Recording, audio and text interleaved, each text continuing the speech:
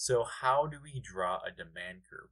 Well, in this lesson, we're going to draw a demand curve for boxes.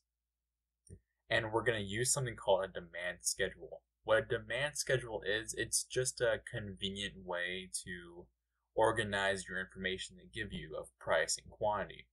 It's pretty much just how much demand you can or you will have for a for a certain price. So let's go and populate this table with data.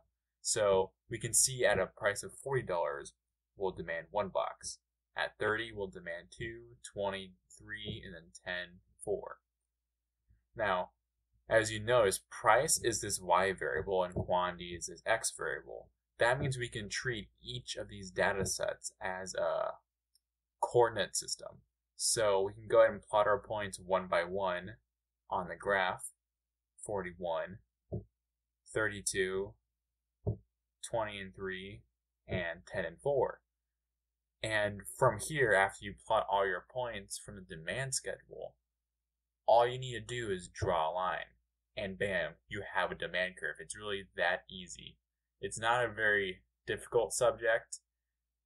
And in a later lesson, we'll be able to do a lot of cool themes with this demand curve and these different numbers, such as elasticity and whatnot. But for that, make sure you stay subscribed to our YouTube channel and tune in for another lesson. See you there.